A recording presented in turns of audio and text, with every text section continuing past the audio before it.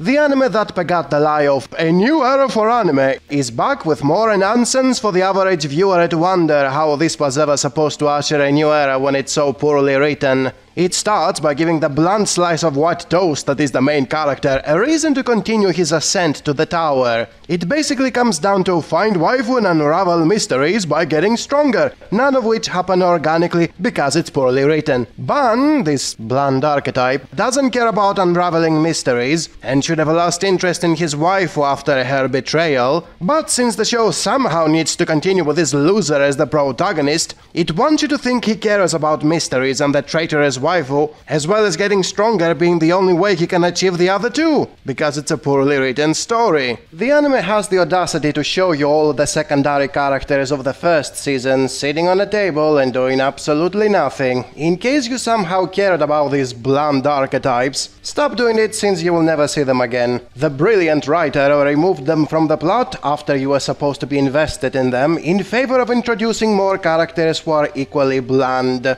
Make sure not to care about them either, they get a similar treatment down the line, because it's a poorly written story. Then we get a time skip and now we are in the 20th level. If for some reason you thought you would get to see each and every one of them and marvel at their amazing world building, well, sucks to be you. You got duped. Exactly as you did with Sword Art Online, which is supposed to be an inspiration for a Tower of God. Remember when the trailers made you think there would be several episodes for each level? You only get glimpses of a few levels and in a hurry, because it's a poorly written story. So, on this new level, we get a generic city. There is nothing special about it, and yet the show is hailed as good as One Piece when it comes to world building. Then the rules change once again, and now you have to pay money to willingly join the tests of the tower, when before that you get teleported unwillingly inside completely for free. You didn't seriously expect any consistency in the rules, did you? So, how much do the fees matter in the plot?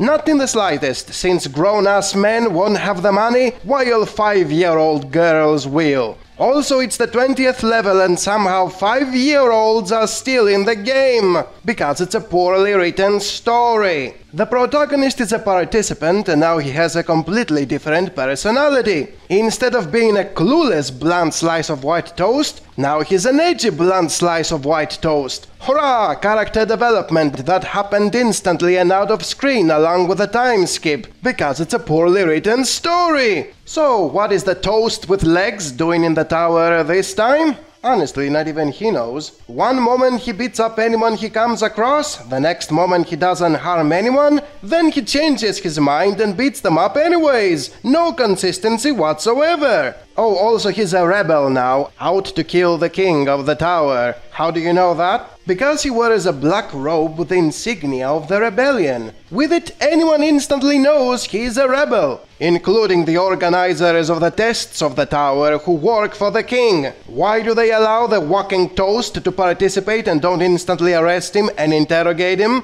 Because it's a poorly written story. Can't wait to see what the two-legged toast and the new blonde archetypes will do next in this amazing show that is considered the Korean Sword Art Online meets One Piece and ushers a new era for anime.